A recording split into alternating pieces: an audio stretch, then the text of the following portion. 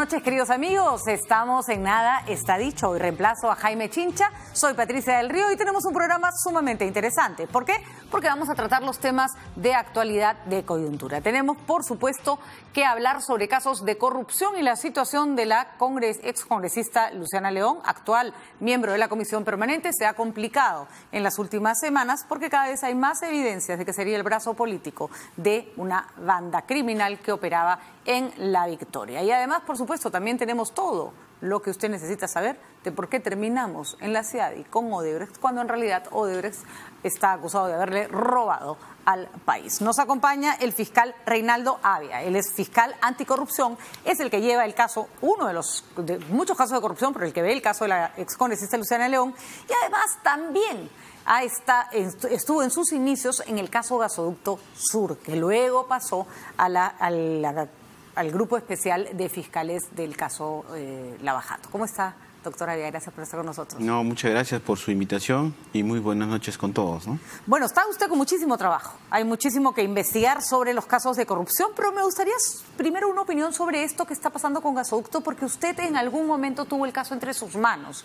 Y estamos hablando, corríjame si me equivoco, año 2014. 14. 2014. 2014, o sea, mucho antes de que el gobierno eh, del señor Pedro Pablo Kuczynski cerrara la concesión. Es más, el señor Kuczynski ni siquiera estaba en la presidencia. ¿Qué se investigaba en ese momento con respecto al gasoducto? Claro, ya desde el año 2014, y dicho sea de paso, hay que recordar que esa investigación lo inicia también los medios de comunicación. Son los eh, medios de comunicación eh, que denuncian esta presunta descalificación irregular que había sucedido en el año 2014, mayo, junio del año 2014. Doctora, bien, recordamos al público que era una obra muy importante, muy grande, de la mayor inversión que, que iba a hacer el Estado y que se quedó con un solo postor. Claro. ¿Cierto? Lo cual era absolutamente irregular. Solo uno competía por la obra. Claro, porque lo que estamos hablando es era una gran oportunidad para nuestro país que el sur desarrolle a través de un polo energético iba este, la empresa que iba a construir, iba a construir los tubos que iban a transportar el gas desde Camisea hasta el puerto de Hilo. Sin embargo, este, eh, incluso hay que recordar también que este proyecto parecido, similar, ya se había iniciado con el gobierno del señor Alan, García, Pérez. Luego pasó, eso no se pudo ejecutar, hubo problemas, etcétera, etcétera. Luego lo relanzó el gobierno del señor Ollanta Humalatazo. ¿Y usted encontró irregularidades en esa investigación sobre cómo se había asignado el proyecto? ¿Hasta dónde llegó su investigación? Claro. Ahora, lo que tenemos que entender, yo inicio las investigaciones en el año 2014 con todo lo que teníamos, se empezó a recopilar la evidencia y ya más o menos entre, entre agosto del año 2015 mi despacho, el tercer despacho de la Fiscalía Anticorrupción, decide denunciar a dos personas. Esto es al presidente del comité especial y a la representante del consorcio del gasoducto sur peruano como los, los, usted los denunciaba porque había habido una presunta corrupción para que entregarle la obra a Odebrecht. Exactamente. Nosotros lo que hablamos acá es un presunto direccionamiento de todo este megaproyecto, que es una, una mega obra de la construcción de los tubos para transportar gas. Y posteriormente ya estamos en el 2015, en el 2016 ya esto sale en los medios de comunicación de la tremenda corrupción que hubo en Brasil, en Estados Unidos, en otros países, explota todo.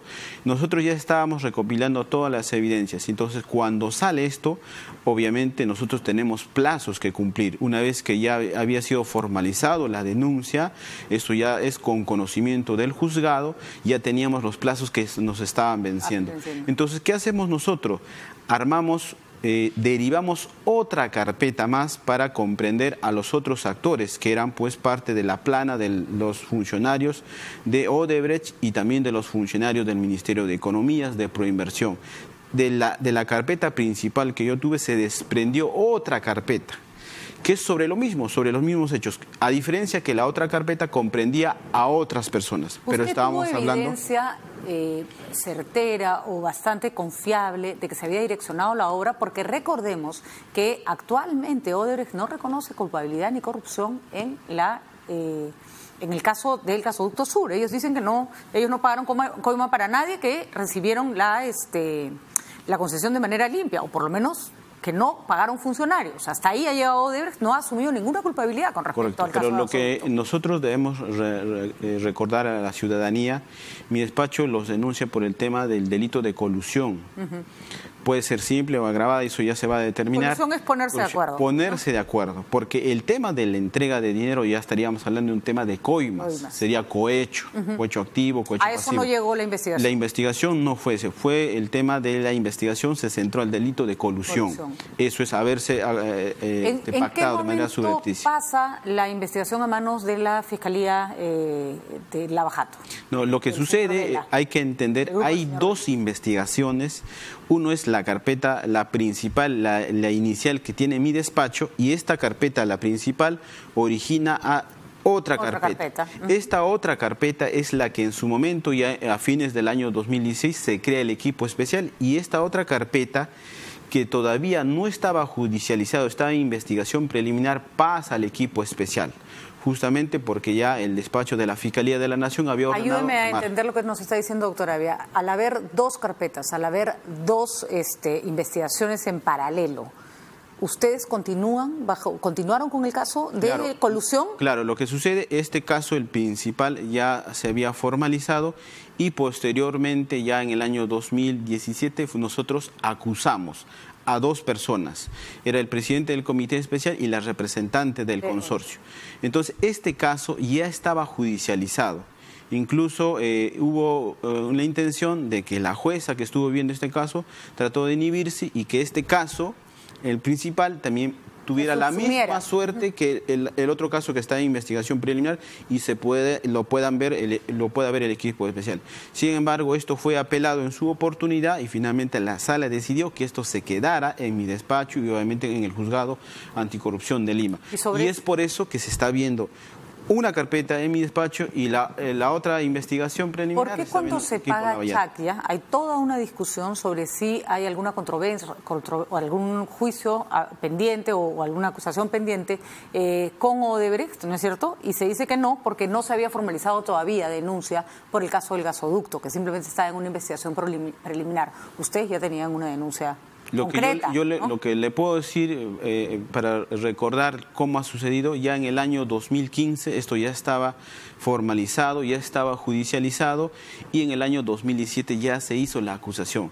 Tanto es así que el año pasado, el año 2019, hemos entrado a, una, a la etapa de oralización del, requerimiento acusatorio. Se ha debatido todo lo que son los hechos, la tipificación, estamos en la etapa intermedia. Recién ahora el juez en, este, en esta carpeta principal va a decidir si esta causa eh, se va a archivar, se va a sobreser o finalmente va a decir si pasa juicio oral y es donde se van a actuar los medios probatorios. De acuerdo. Eh, preguntas. En el 2017 se anula el contrato con Odebrecht. El, ah, el, juicio continúa, el que usted está llevando a cabo continúa porque da lo mismo si el contrato existe o no existe, igual los delitos se tienen que seguir investigando. Exacto. Em, ¿En qué afecta el hecho de que el Estado tenga una controversia por contrato con respecto a un juicio que se está llevando en paralelo sobre, ese, sobre esa materia. Me explico. Una cosa es el MEF, ¿no es cierto? El Ministerio de Energía y Minas, que han firmado un contrato, y otra cosa son las acciones que hace el Poder Judicial y la Fiscalía para fiscalizar que esto se haya hecho sin delitos. Eh, ¿Ustedes tenían, estaban, usted está al tanto, por ejemplo, de lo que pasa con la empresa Odebrecht y el Estado peruano en materia de las decisiones que se toman con respecto al, contrato? Eh, claro, lo que pasa, nosotros eh, tenemos que separar esa situación. Así es. Lo único que nosotros vemos es la conducta de relevancia penal. Y en ese sentido, finalmente nosotros como Fiscalía pediremos ante el órgano jurisdiccional, que es el Poder Judicial, que lo sancione penalmente. Si lo condena o no los condena. Es un tema de, ver si hay pena privativa. Y finalmente, a, raíz de la comisión de este delito, pueda o no haber una reparación civil. Y se pueden ya verificar las consecuencias. O sea, es el, el, el que une ambos aspectos, o podría unir ambos aspectos, es Procuraduría. Claro, la Procuraduría podría unir ahí los, los términos. ¿Su opinión sobre el, hecho de que hayamos terminado con Odebrecht por este caso del gasoducto en CIADI? Claro, eh, y eso es una opinión totalmente personal. Quiero separar ese tema porque yo tendría que ser netamente objetivo. Yo como peruano lamento esta situación que esté pasando, ¿no? Porque finalmente sabemos porque la misma empresa ha reconocido que habría corrompido pues, a varios funcionarios peruanos en otras obras. ¿no? Y para mí, como peruano, me da tanta pena que el Estado haya perdido esta oportunidad de poder construir este, los tubos para poder eh, traer gas y todos nos podemos ser beneficiados. Lamentablemente el día de hoy no lo tenemos. Además, esta empresa nos está demandando para qué? Para que le podamos pagar. ¿no? Bueno, ya ellos tienen sus argumentos, fundamentos, no me voy a meter en ese punto, será el Estado quien también reaccione y haga valer todos sus derechos ¿no? en, esta, en este, este ah, Perfecto, doctor Avia. Pasemos al tema de Luciana León. La verdad que sus declaraciones y sus revelaciones sobre el caso de Luciana León son realmente impresionantes, el grado de corrupción.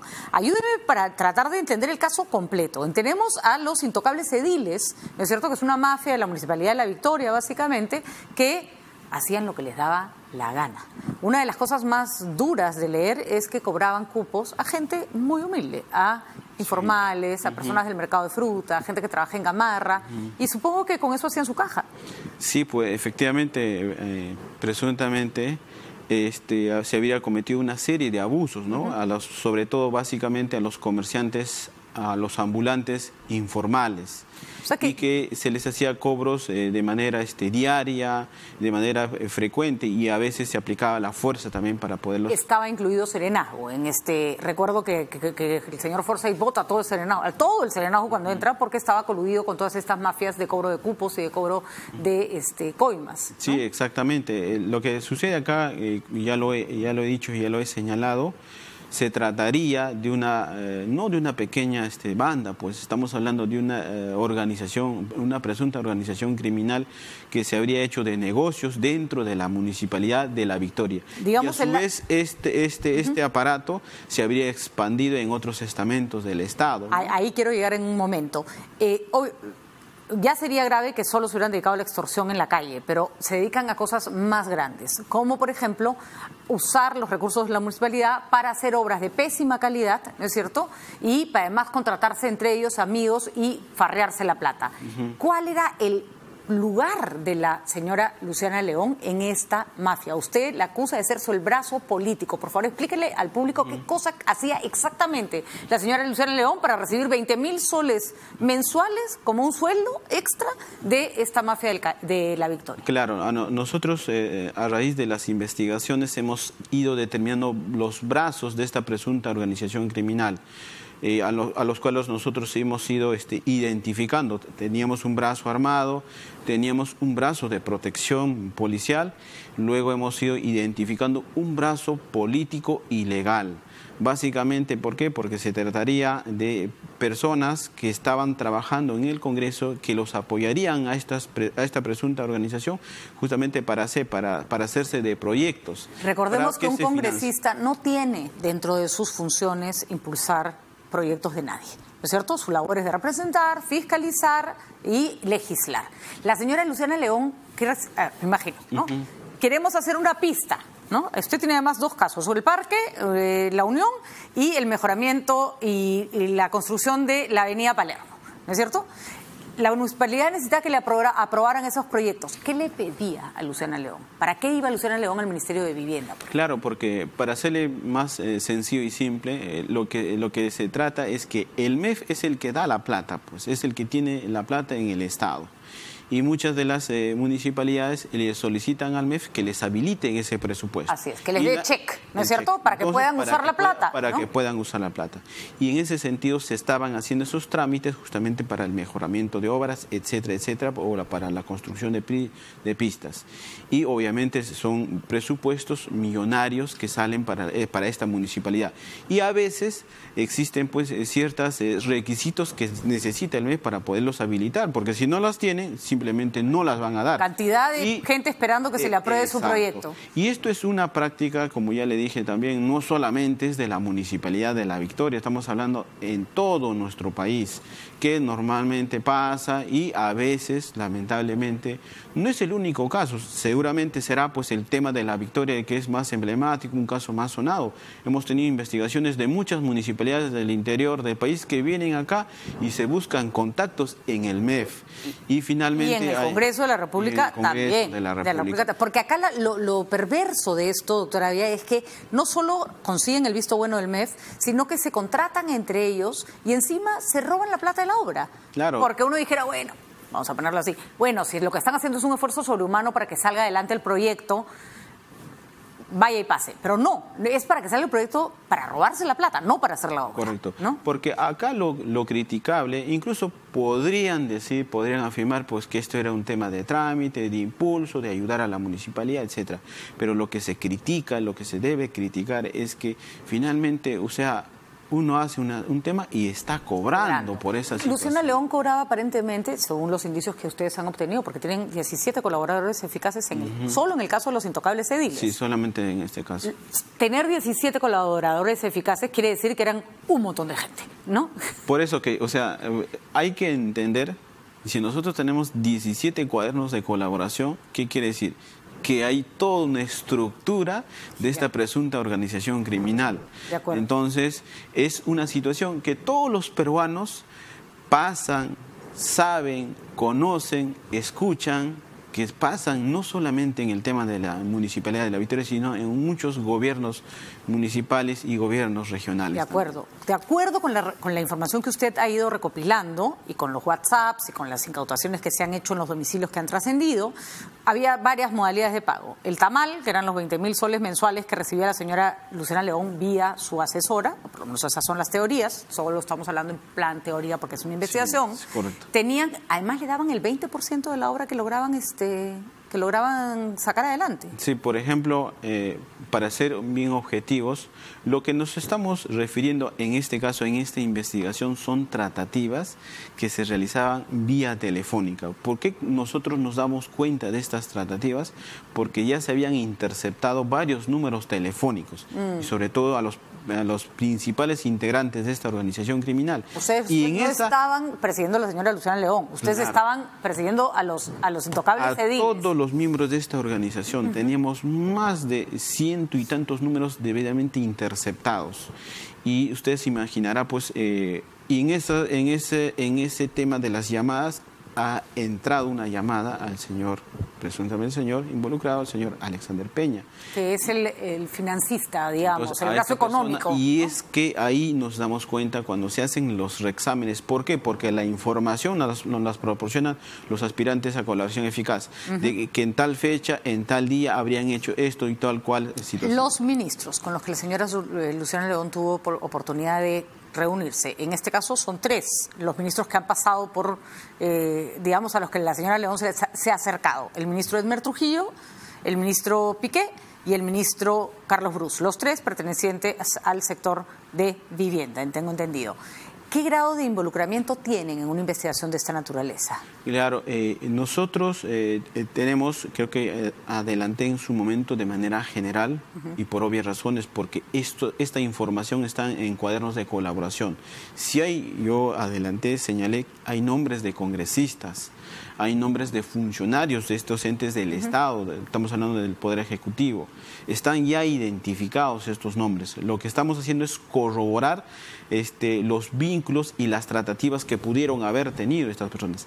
Tanto es así para nos, sorpresa de nosotros es que una persona se presentó de manera voluntaria y empezó a, colaborar, a decir con nosotros. Y, en ese sentido yo agradezco también, creo que también es parte de que hay ciertas personas que están tomando conciencia y se están acercando porque finalmente no quieren verse involucrados y por lo menos buscan algún tipo de beneficio. Al señor Forsyth casi ha tenido que andar hasta con chaleco antibalas por meterse con las mafias de la Victoria. ¿Usted está amenazado? Eh, en su momento eh, le manifesté y y también por, por un tema también este, de valía, no quiero hacerme la víctima porque de todas maneras si yo me preocupara quién me amenaza y quién no me amenaza, me desconcentraría de mi trabajo. ¿Tiene suficiente resguardo policial? Sí, yo agradezco en ese sentido pues al, Ministerio del Interior que sí me da toda la protección necesaria. No, no, agradezca, es la obligación del Ministerio. Es la obligación del, Estado, ¿no? no, que le tiene que dar. Definitivamente. Ahora, el, la señora eh, Luciana León, hasta el momento lo único que se puede hacer con ella es impedirle la salida del país, que se le ha otorgado un impedimento de salida del país por 36 meses. ahorita goza de inmunidad parlamentaria hasta que termine la comisión permanente, luego goza de esa inmunidad 30 días más y luego tiene un antejuicio político. Exacto. ¿Cuál sería su pedido al próximo Congreso? Claro. Ahora, lo que tenemos que entender también, si bien es cierto, toda esta investigación nace de mi despacho, pero dada la condición de ella como, como congresista en nuestro país, lo está, por ser una, una persona aforada, lo está investigando, lo está viendo directamente la Fiscalía de la Nación. Es la señora Zoraida, Zoraida Ábalos la que está autorizada a pedir que su impedimento salga del país. Exactamente, es como ha ocurrido en estos días y finalmente todos los que no son aforados lo está viendo mi despacho. Sin embargo, ambas investigaciones están estrechamente ¿Y confía usted en que el próximo Congreso le permita que la investiguen, porque ya sabemos que hay, cuando uno tiene derecho ante juicio político se puede blindar a una persona. No, yo pienso que eh, todas las personas acá, eh, incluso los nuevos congresistas que están este, ingresando, son personas sumamente inteligentes y exactamente tienen que contribuir y, y buscar un cambio en estas situaciones. ¿no? La señora Luciana León recibió aparentemente este, un sueldo mensual, lo que quiere decir que haría varias. O sea, para, que tenga un sueldo mensual tienes que estar al servicio de alguien durante todo el, tiempo. Recibió un eh, monto porcentual de las obras y es verdad lo de la plata del matrimonio, que pidió 10 mil dólares para su matrimonio. Claro, hay información que salió en los medios de comunicación y esa información es de carácter reservado. Hay que corroborar simplemente para no este, ahuyentar a la. De acuerdo, pero, pero digamos que eso es lo que ha trascendido. O sea que la boda de la señora Luciana León, que no debe haber sido barata, porque basta ver las fotos, se pagó en parte con la plata que le quitaban a los ambulantes de las calles, si es que tal cosa se corrobora. Claro, sí, exactamente. Wow. Bueno, hay un tema importante porque ya desde el caso Business Track, y con esto vamos cerrando, doctora Avia, el señor Rómulo León, son un caso que nunca se terminó de, investigar como debía ser, presentaba a la señora Luciana León como su eh, contacto para cualquiera que necesitara algo en el Congreso de la República. Es decir, la figura no es pues reciente. Puede, la señora Luciana León podría haber tenido antecedentes de estar cumpliendo con esta función desde antes de los intocables ediles. ¿Hasta dónde puede llegar su investigación? Solo en este caso o se puede extender buscando si ella u otros congresistas están, estuvieron haciendo lo mismo? Sí, exactamente. Y yo entiendo también que el señor este, Rómulo León está eh, tratando de colaborar con nosotros. Y hay una... Hay un Rómulo Hijo. Rómulo Hijo, sí, exactamente. Rómulo Padre y hay una este, y hay un testigo en reserva que tenemos que eh, exactamente nos ha comunicado ese su deseo y su, su voluntad. Finalmente habrá que colaborar con ustedes en contra de su hermana. Mm, no le puedo adelantar absolutamente nada al respecto, simplemente le debo decir en líneas generales entonces eso está en, evaluación. Usted está evaluando porque en este caso no sería colaborador eficaz sino testigo protegido. Entendemos si es que está involucrado en el acto criminal. sí, lo que le digo es que habría un testigo protegido que no necesariamente es el señor Rómulo León, que nos está este, brindando información y obviamente este, ya está ya no a colaborar, ¿no? Obviamente hay que mantener en reserva su identidad. Muy bien. Bueno, doctora, vamos a ver entonces cómo va con su investigación. Sí, pues. eh, mucho, eh, ¿Qué, ¿Cómo calificaría esto que le ha tocado investigar? Sí, es este... ¿Qué cosa? Porque usted dice son redes de corrupción a lo largo y ancho de todo el Estado.